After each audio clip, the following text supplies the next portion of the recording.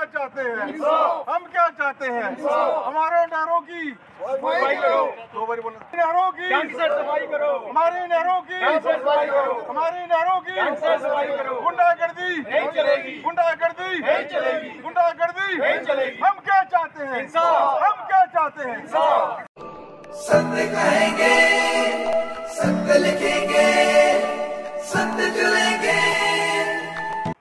ਇਹਨਾਂ ਨੇ ਪੰਜਾ ਲਿਆਂਦਾ ਹੈ ਜਿਹੜਾ ਤੋੜ-ਫੋੜ ਕਰਦਾ ਹੈ, ਮਸ਼ੀਨ ਨਹੀਂ ਲਿਆਂਦੀ ਸਾਈਡਾਂ ਸਾਰੀਆਂ ਤੋੜ ਗਏ ਇੱਥੇ ਲੋਕਾਂ ਨੇ ਮਿਹਨਤ ਕਰਕੇ ਇਹ ਸਫਾਈ ਕੀਤੀ ਦੀ ਹੈ ਤਾਂ ਕਿ ਗੰਦ ਗੁੰਦਰਾ ਸੁੱਟੇ ਇਹਨਾਂ ਨੇ ਸਫਾਈ 'ਚ ਬੂਟੇ ਤੋੜ ਕੇ ਸਾਰਾ ਮਲਬਾ ਇੱਥੇ ਸੁੱਟਿਆ ਫਿਰ ਕਹਿੰਦੇ ਨੇ ਕਿ ਅਸੀਂ ਮਲਬਾ ਚੁੱਕਾਂਗੇ ਲੇਕਿਨ ਇਹ ਮਲਬਾ ਚੁੱਕਦੇ ਨਹੀਂ ਪੁਰਾਣੇ ਪਿਛਲੇ ਸਾਲ ਦਾ ਹੀ ਮਲਬਾ ਜੇ ਇੱਥੇ ਤੱਕ ਪਿਆ ਹੋਇਆ ਹੈ ਉਹਨੇ ਥੱਲੇ ਦੇਖੋ ਮਲਬਾ ਉਸੇ ਤਰ੍ਹਾਂ ਹੀ ਹੈ ਇਹ ਕੋਈ ਮਸ਼ੀਨ ਨਹੀਂ ਆਈ ਸਿਰਫ ਪੰਜਾ ਆਇਆ ਜਿਹੜਾ ਉਲਟਾ ਤੋੜ-ਫੋੜ ਕਰਕੇ ਚਲਾ ਗਿਆ ਹੈ तो मीडिया के आपने बड़ा सहयोग किया हमारा लोगों का आप आगे तो नहर पूरी सफ़ाई नहीं हो रही है। देखो ये आप सामने मौके पर आए हुए हैं। ये तो देखो कितना बुरा हाल है इसका। दोनों लाए वो नीचे से जो पत्थर लगे थे जो है, उसको उखाड़ के फेंक के खंडे सारे उखाड़ दिए। सफ़ाई हो ही नहीं रही कि बिकल ज़ीरो क्लास सफ़ाई हो रही सर क्या डिमांड? करेंगे दूसरी मशीन लाएँ इसको अच्छी तरह अच्छी तरह सफ़ाई। सफ़ाई करें। जो लोगों ने पोट लगाए हैं वो अपने बूटे पेड़ वार लगाए हाँ।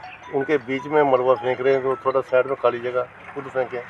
और अब क्या चाहते हैं? गैस सफ़ाई अच्छी तरह होनी चाहिए जो नहर सफ़ाई है दूसरी मशीन ला के अच्छी अच्छी तरह। से बात बता दिया उनको लेकिन वो आए थे इधर। देखिए ये नहर की सफ़ाई कर रहे हैं। पीछे मलबा यूँ का तू ही है और आगे चल रही है। आगे भी आप मलबा देखिए बिल्कुल यूँ का तू है। और दूसरा नंबर इन्होंने सफ़ाई के लिए जो मशीन लाई है एक पंजा जो कि डिसमेंटलिंग के लिए होता है सारे किनारे इन्होंने तोड़ दिए। और बिल्कुल सत्यानाश कर दिया इधर। और दूसरा नंबर, ये रेजिडेंशियल एरिया है। इनके टेंडर वर्क में होता है कि जो मलबा निकलना है साथ साथ उठाना है रेजिडेंशियल एरिया पोल्यूशन होता है, प्रदूषण होता है। तो बच्चे, बुज़ुर्ग लोग हैं, ये बीमार हो सकते हैं। इन्होंने वो अब देखिए पिछले साल का यहाँ पड़ा हुआ है। इन्होंने पैसा रिलीज़ करवा लिया है। अभी तक वो नहीं उठवाया। तो अब भी ये मलबा जो कीचड़ वगैरह निकलता है और यहाँ लोगों ने नहर के किनारा साफ़ किया हुआ था बिल्कुल पेड़ लगाए थे एक शुद्ध वातावरण के लिए। इन्होंने वो पेड़ उखाड़ के बीच में मलबा फेंक दिया। बल्कि कि उसके साथ आगे खाली जगह पड़ी थी। यहाँ मलबा फेंक सकते थे। पहली बात तो जो इन्होंने पंजा लाया, इससे मलबा फेंका नहीं जाता। उल्टा ये किनारे तोड़ ये नीचे बेस सोलिंग हुई थी टूट गया। आप देख लीजिए लाइव देख रहे हैं। तो हमारी ये अपील है, इस कि क्यों गवर्नमेंट का पब्लिक का पैसा ये लोग वेस्ट कर रहे हैं? कंसर्न जेई ए डब्ल्यू आई हमने उन्होंने बोला, पहले ये बताइए कि जो आपने मशीन लाई है, क्या ये अथराइज है? क्या ये इससे सफ़ाई होती है?